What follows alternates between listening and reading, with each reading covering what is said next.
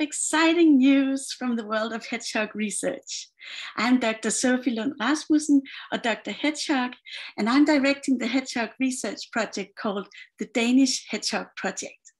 The Danish Hedgehog Project is a citizen science project where volunteers collected dead hedgehogs for my research from all over Denmark, allowing me to use the dead hedgehogs to better understand the living. A total of 697 dead hedgehogs were collected, and my colleagues and I have just published a scientific study where we tested 299 of these hedgehogs for endoparasites. That is, parasites living inside the body of the hedgehogs. We used hearts, lungs, intestines, and livers from the dead hedgehogs to search for endoparasites. Perhaps it's not the most delicious subject, but please hang on uh, because the results are actually quite interesting. We found that 69%, that is two thirds of the hedgehogs we examined, that they hosted endoparasites. This shows us that it's completely natural for hedgehogs to carry endoparasites. Because we'd used the hedgehogs from the Danish Hedgehog Project for a range of different studies, we already had quite an extensive background knowledge about these hedgehogs. We know their sex, when they died, their geographical location, where they came from, whether they came from a rural or an urban area, whether they carried the bacterium MRSA or not, how inbred they were, and their exact age. So this allowed us to test whether some of these factors were actually determinants of endoparasite occurrence in the hedgehogs. We discovered that the juvenile hedgehogs, uh, that is, individuals below one year of age, less often had endoparasites compared to older individuals. And we found that individuals of one year had a higher occurrence of endoparasites compared to individuals of two years of age. So it seems that the hedgehogs around the age of one um, are more often carrying endoparasites compared to other age groups. That is really interesting.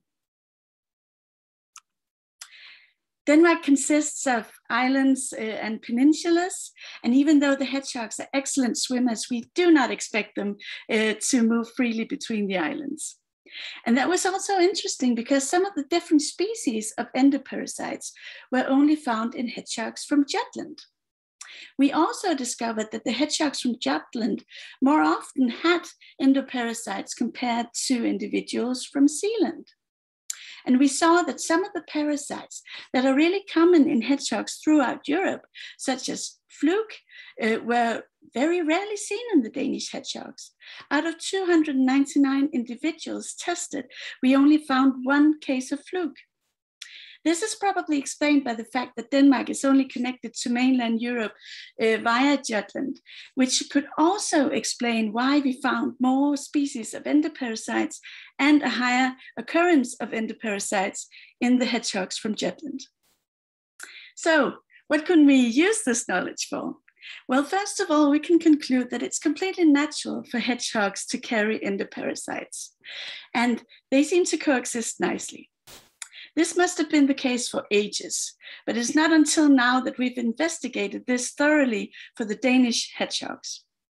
Sometimes the parasitic burden in the hedgehogs become too high, uh, and, and that is making the hedgehogs ill. So they'll lose weight, they'll get diarrhea, they'll get difficulties breathing because they have so many worms gathering in their lungs. And they will often get secondary infections such as pneumonia due to the high presence uh, of lungworm. So these hedgehogs should, of course, be treated. Otherwise, they'll risk dying from these uh, high endoparasitic burdens.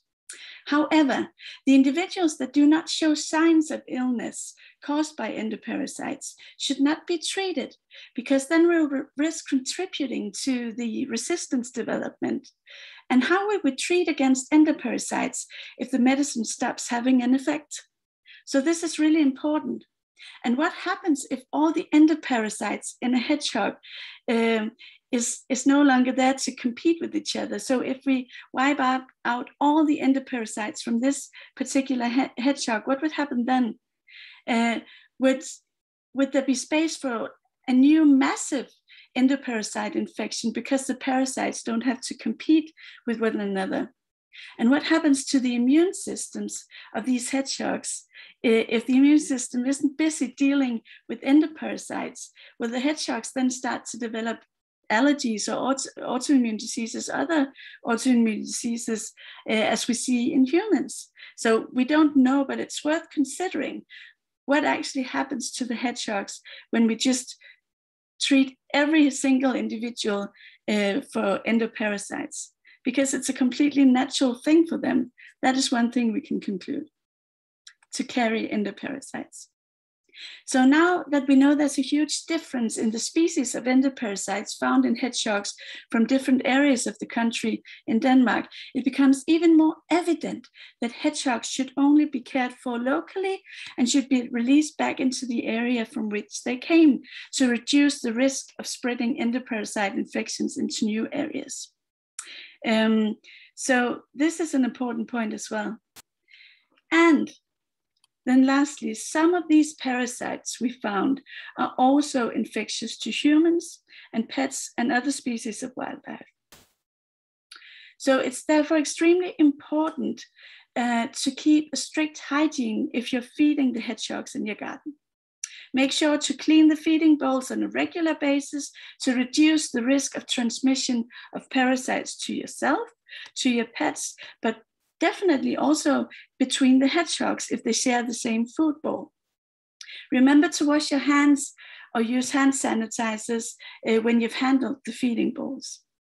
So there's no reason to panic. I mean, these endoparasites have been, have been around for ages. Nothing has changed there.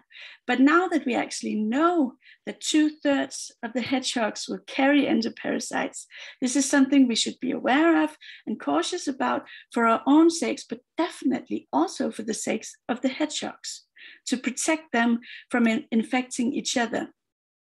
So if you would like to read the full scientific article with all its details, it can be downloaded from here.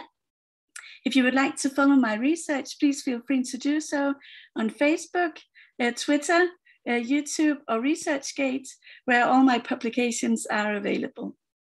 Please don't hesitate to contact me if you have any questions.